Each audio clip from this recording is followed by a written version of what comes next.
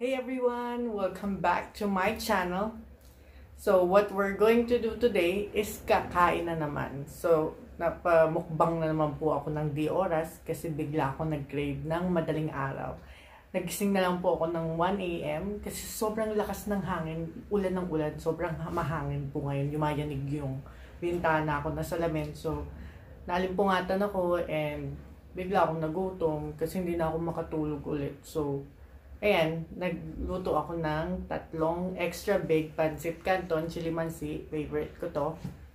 And then, naglaga na rin ako ng apat na itlog. So, mukhang mapapakain na naman po tayo ngayon. Well, ako. But, willing to take the challenge. But anyway, if you guys ended up enjoying this video, like lang po kayo, share this video, comment down below, and subscribe.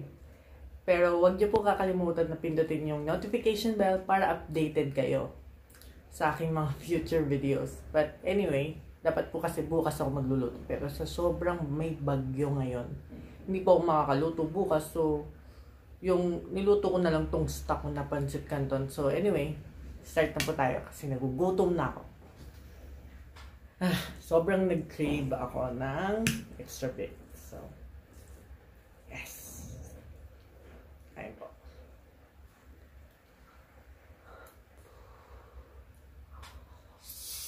Yeah.